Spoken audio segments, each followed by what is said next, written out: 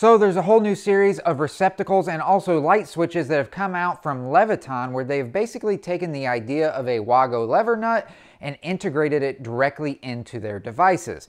And one of those devices is this one right here. This is the Leviton Decora Edge. And so we're gonna be taking a good hard look at this. We're gonna take a look at exactly how it works, the features of the device, and we're also gonna go over, is this the future of receptacles and light switches? And at this point, are they dependable? So let's go ahead and jump right in. Let's go. And this is essentially what happens when you take a regular receptacle and you take a Wago and you integrate them together. You get the new Leviton Decora Edge. And what you guys all care about is over here on the sides where you see these levers. There's no terminal screws at all like you would normally see on the side of a receptacle. Every single one of them, including the ground, is a lever nut essentially that's built into this receptacle. So since we don't have the terminal screws and we just have lever nuts, you don't need to use a screwdriver. With the lever nuts built into the receptacle itself, it's really as easy as lift it up, take your wire, stick it into the hole in the back, and then flip down the lever and now it is stuck into place. That wire is now connected to the receptacle. So that's how it works, but there are also some important features on this that you would need to know if you were going to use this. So as you can see, this is very tall. And the reason for that is they've got this little extra piece of plastic that's up here on the top, also down here on the bottom. These are able to be broken off, but the reason that they're there is if somebody has cut a hole in the wall that is just too large and instead of having to use spacers or something like that in order to pull that receptacle out to where it's flush with the wall, with these being a little bit taller, it makes it so that when you insert this into that hole, even if it's overcut by a little bit, it's not a big deal because this will make up for the hole being too large and it will still be able to set up against the wall. However, in most cases, you will need to break these off, otherwise they're going to extend out too far and the majority of your cover plates will not fit it. So you would have to remove them and it really is as easy as just taking a pair of pliers and you just bend the plastic back and forth and eventually it breaks off. All right, so now that we've got those wings off, as you can see, it is the exact same height as our standard receptacle. So now this would fit in your standard box. This is also tamper resistant, so it will comply with codes as now tamper resistant receptacles are required in most situations now. If we flip it over here to the back, one thing that is nice is they designate exactly what wire goes where. So you've got hot, you've got white, and then of course it says green or bare wire. Now, even if you're somebody that can't read, what's nice is everything is color coded. So you've got your two blacks on this side, which of course are always gonna be your hot wires. You've got your green colored lever for your ground, so that's where your green wire or your bare copper wire would go. Something that's interesting about this, this is probably the first time I've ever seen where the ground is on the same side as the hot wires. Typically, it's over here on the neutral side. But as you can see over here on the neutral side, both of our neutral levers are both white for your white wire. If we flip it down here to this bottom corner, you'll see this little indentation here. That is a strip gauge. So you can take your wiring, stick it down in that strip gauge, and it will show you exactly how much of the insulation needs to be removed in order for it to fit into these holes here in the back perfectly. If you remove too little insulation, you may have connectivity issues. And if you remove too much insulation, you may have some bare copper sticking out the back, and that is never a good thing. I will say that the lever function itself feels fairly robust. The levers themselves, though, feel like they could be made a little bit stronger. They're not awful, but I feel like they could be a little bit more heavy duty. But as far as when it comes to opening them, there is some pretty decent resistance there. So that does tend to make me believe that since I'm creating quite a bit of tension by opening this, that the grip on the wire is probably pretty good. Also, when you flip the levers down, they make that loud clicking noise. That way it kind of gives you a snapping audible sound that lets you know that it's locked into place. This new Leviton receptacle is very much a residential grade receptacle. It is not up to a commercial grade receptacle.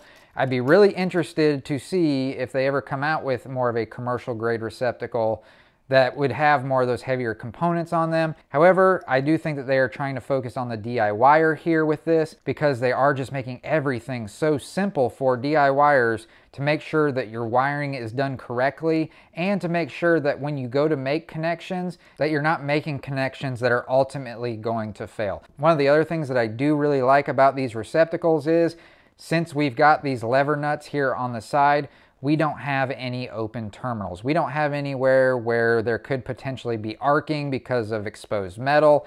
Everything is internal. So from a safety standpoint in that regard, this is a lot safer than your standard receptacles. But with your standard receptacles, if they're installed properly and everything is tightened down, there really isn't a whole lot of chance for there to be issues to begin with. But again, I think they have the DIYer in mind to make as safe and easy receptacle as there can be to install. Now something else that they've integrated into this that I think is a fantastic idea is do you see this little notch that's up here? And then on this other side, you've got a point same thing down at the bottom. You've got a point on this side and then a notch out on this side. Well, what that's for is if you are installing these in say like a double gang box. When you put your receptacles into that box, if you put them up right next to each other, that notch will fit right into that groove between the two devices. See how they interconnect then? And that's to make sure that they are both level with each other and providing the proper spacing. And let's say you have a double gang box where you want to have a receptacle, but you also want to have a light switch in it. Well, they've got this light switch here that's just like the receptacle. They've also got those notches and those nodes on them to where when you put these together, they also integrate together perfectly. So it's a small thing, but I thought that was a pretty cool concept that I personally hadn't seen before. And I can see how that could definitely come in handy just to make your installation easier. All right, so I've got some wiring here. So now we're gonna have a competition. So I'm gonna take a standard residential grade receptacle and we're gonna put it up against the new Leviton Decora Edge. Now, I think we all know that the edge is going to be faster to wire up, but we're going to time exactly how much longer it takes me, and I will try to go as fast as I can to wire up this standard residential grade receptacle. Now, for each of these, I will not be installing them actually into the box. It's going to be just about wiring them up and how quickly I can do it, but I will already have my insulation removed from the wires. All right, so up first, we'll wire up this residential grade receptacle.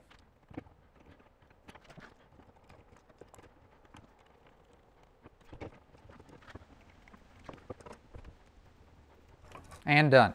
Now, I'm sure I didn't break any records there, but I did still want to make sure that I was installing everything properly. So you may have seen me trying to turn hooks to make sure that they would be wrapping around the terminal screw in a clockwise direction. So I wanted an accurate representation, but I don't think that that was too bad for someone who doesn't do this on an everyday basis. All right, so now let's see how quickly I can connect the new Leviton Edge.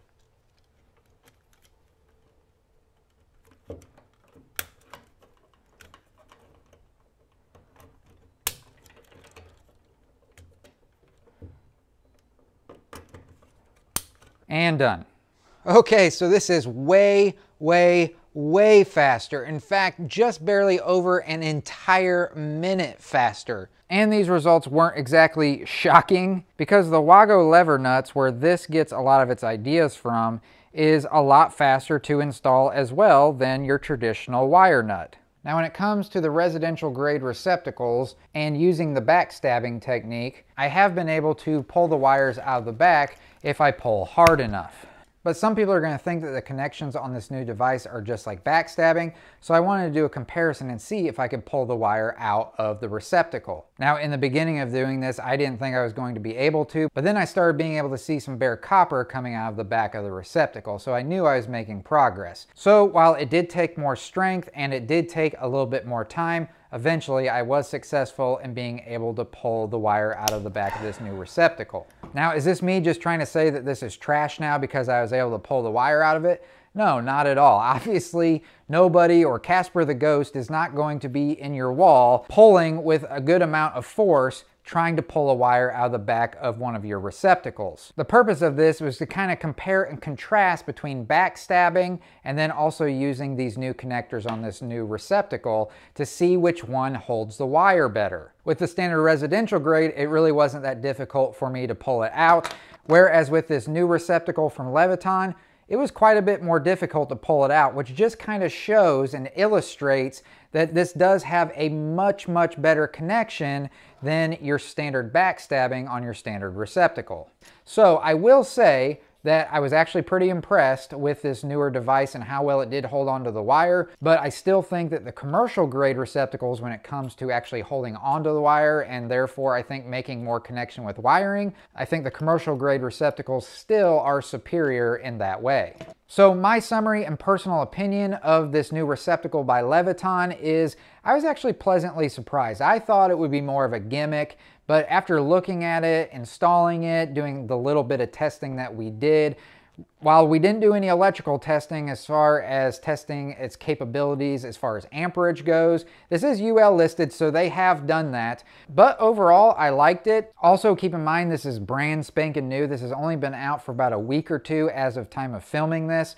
So there may be some things that they're going to adjust or improve on to make these better. But my mind is completely open and I'm genuinely curious. What do you guys think about this? Do you think these are a good idea, a bad idea? Do you think this is the future? Let me know down in the comment section. I'm really interested to hear what you have to say. Now, regardless if you think these are a good or a bad idea, Leviton has also made with the same exact idea the single pole and they also have three-way switches that are available with the lever nuts. So I'll be doing a video on these as well and why I think these are actually better right now than the receptacles. So once that video is done, I'll post it right over here that'll take you directly to it. And if you don't see that video yet, until then, I'm allowing YouTube to pick whatever video they think that you want to see next. So I really hope that you found this video to be interesting, and if you did, if you could do me a huge favor, hit that thumbs up button right down below. And of course, if you have any questions or comments, you can leave those down in the comment section. And I'll catch you all in the next one. See ya.